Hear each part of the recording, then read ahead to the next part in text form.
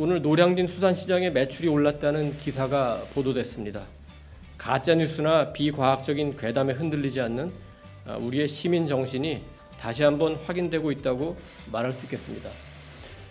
아, 얼마 전에 대통령과 참모들이 수산시장을 방문해서 오찬을 함께 했습니다만 대통령이 먹는 음식은 안전성이 100%라고 말할 수 있습니다.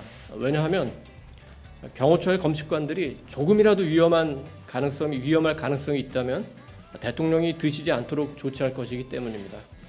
그런데 대통령이 서울의 노량진 수산시장이든 부산의 자갈치 시장이든 직접 가서 수산물을 먹는다는 것은 그 수산물이 100% 안전하다는 것을 의미하는 겁니다.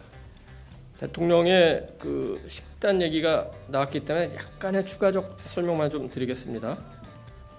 음, 참모들이 해외 출장 그리고 뭐 지방 출장에 가서 그 대통령 수행해 보면 체력이 굉장히 그 좋으신 편인데 건강의 비결이 뭐냐 이렇게 가끔 묻습니다. 대통령은 아침, 점심, 저녁을 잘 챙겨 먹는 편이다 이렇게 답변을 하십니다.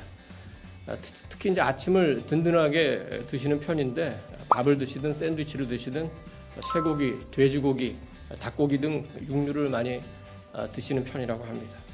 점심 저녁에는 수산물도 많이 먹고 하지만 또 참모들이 대통령과 함께 식사를 하다 보면 점심 저녁에도 수산물과 함께 늘 축산물이 그 메뉴로 올라옵니다.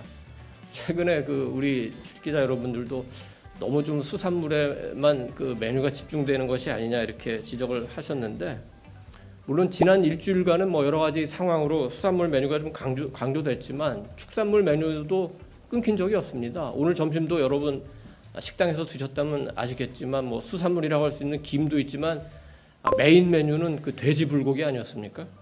아, 그래서 아, 오늘 반찬도 수산물도 있었지만 축산물 비중도 적지 않았다. 뭐 이렇게 다시 한번 말씀드리고 싶습니다.